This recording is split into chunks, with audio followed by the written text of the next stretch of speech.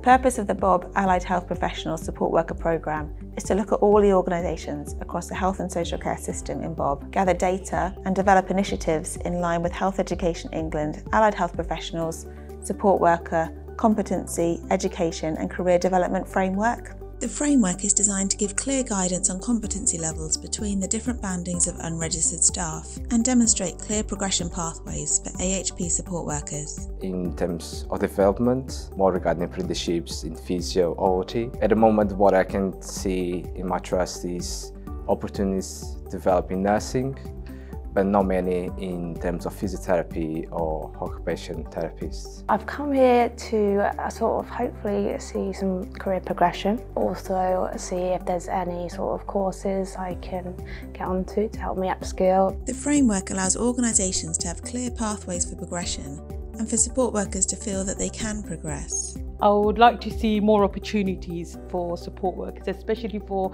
visual field technician who are working in the orthoptic department. I've recently completed a VPD course which was made available by the Bob faculty. This has enabled me to sort of gain more knowledge and I was the first one to complete the course nationally which was like a huge achievement, yes.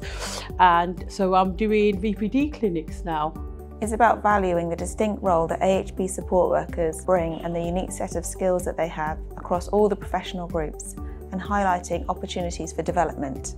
There's a lot of things for support workers now, which there didn't used to be. There is definitely more training happening, but in the past I haven't really, there's not been much training for clinical support workers, it's more been for the registered staff. The Bob AHP Learning event has been organised to showcase roles and opportunities for our AHP support workers across the four pillars of practice, clinical, leadership, research and education. This is a breath of fresh air today because finally there's some progression and there's lots of different types of progression coming in for support workers. We never had that a few years ago. The purpose of the AHP Support Worker Networking Bob is to give a voice for the support workers and for them to feel that they have a platform to talk about things that are important to them. The benefit to organisations is that staff feel valued, appreciated and understand the important role that they have to play. To meet people with a similar role to me and sort of uh, be a part of the community a bit more. Within Bob we have a diverse range of AHP support workers in a variety of roles and the contribution they bring to their teams with a unique skill set should be celebrated.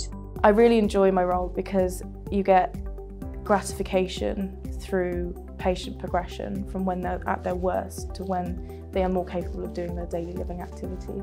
I really enjoy working with patients and the small team of speech therapy professionals that I'm with, the multidisciplinary team that I work with. It's very varied.